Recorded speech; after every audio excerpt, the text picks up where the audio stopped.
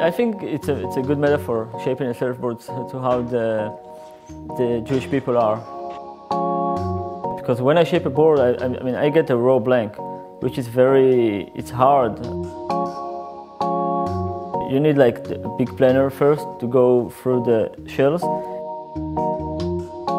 But as you get to know them, they have a very, very good and big heart. To live in Israel, it's uh, interesting. You're learning that all the time people are against you. But when you start surfing, I find this uh, peaceful place in me, like I can run away and go surf. And this is a, a gift that I got, I think, from, from God.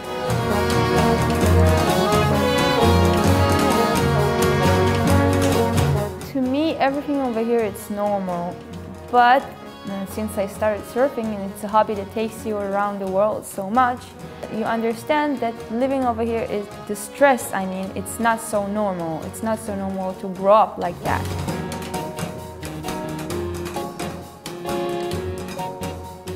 It's not easy to be a surfer from Israel. The only things that you heard about Israel, it's only about wars and kind of stuff. I hope to change it maybe if they see a surfer from Israel.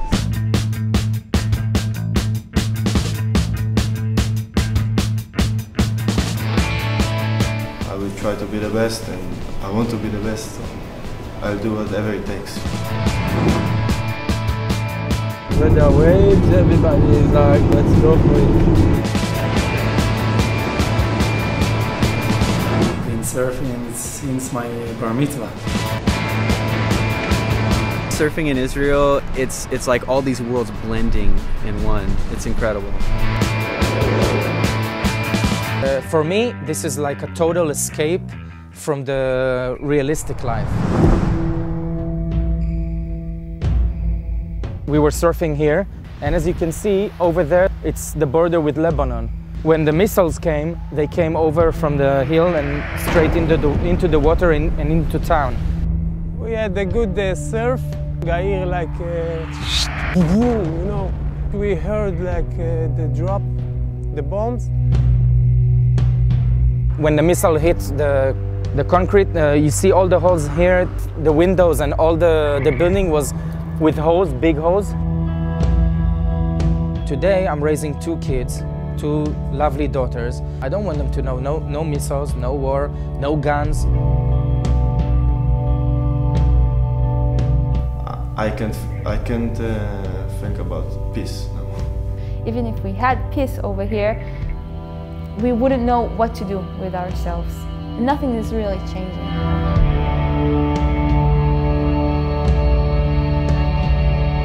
What's happened in the Holocaust with my family, just my grandfather survived. It was hard for my grandmother to, to trust any human being after the Holocaust. Anyone. She never trusted anybody. She, and she told us, don't trust anybody.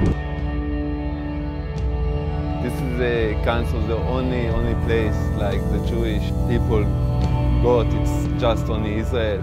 The only place like you can feel at home.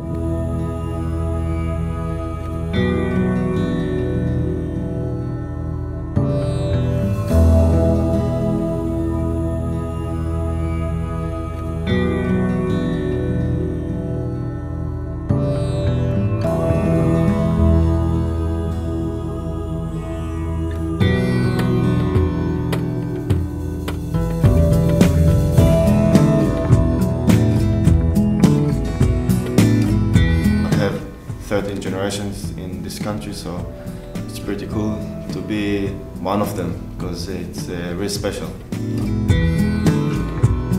I was born in Israel. My parents uh, make Aliyah to Israel from uh, Iran. My family has been here forever.